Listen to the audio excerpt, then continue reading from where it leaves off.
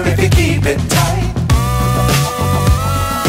Love the world, but keep the sky on your mind.